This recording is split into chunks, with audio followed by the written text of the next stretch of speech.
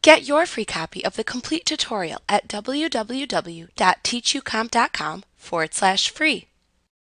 You can select the Blur tool, which is in the same spot as the Smudge tool in the toolbox, to soften hard edges or reduce fine detail in an image.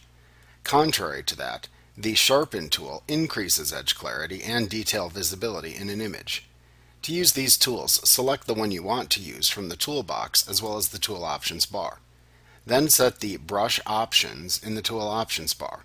You can select the blending mode, brush, size, and strength using the drop-downs and sliders available.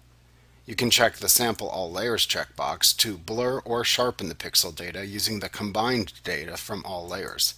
Otherwise, it will only use data from the currently selected layer. After setting your options, click and drag over the area in the image that you want to either blur or sharpen.